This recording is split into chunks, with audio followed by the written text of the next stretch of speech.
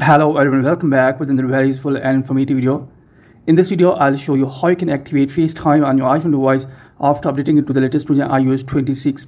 So if you have updated iPhone device to the latest version iOS 26 and now you want to enable FaceTime on your iPhone device, then here in this video, I'll show you how you can activate FaceTime on your iPhone or iPad device after updating it to the latest version iOS 26 so first of all here you need to tap on settings in your iphone or iPad device so then scroll down then tap on general then tap on software update and here make sure that you are using an updated version of ios. If you're not using an updated version of ios then here you'll need to update your iphone device to the latest ios version.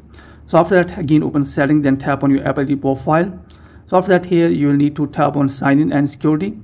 So then here you will find this type of interface. Then here you will have to activate your mobile phone number from here by add email or phone number. Then after that here you will have to verify your mobile phone number.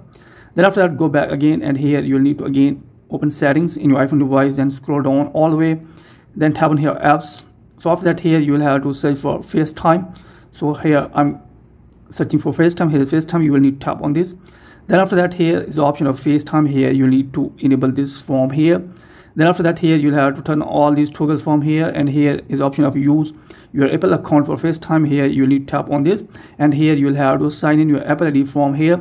Then after that FaceTime will be activated in your iPhone or iPad device after updating it to the latest version iOS 26 so that's it from this video. Hope you like this video. If you like this video then please subscribe my channel and also press the bell icon so that you can get my all upcoming videos. Thanks for watching this video